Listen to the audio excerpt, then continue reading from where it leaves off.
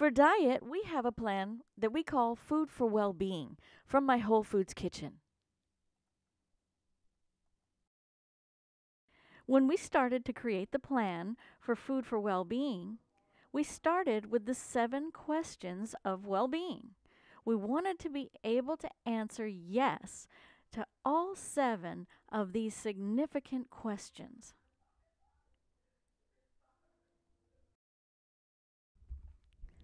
The final result was what we call Food for Well-Being from my Whole Foods Kitchen.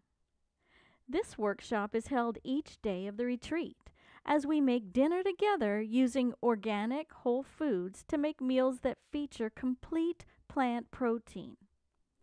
When you return home, you will know how to cook this exciting new meal plan that supports health and well being with delicious ethnic cuisines.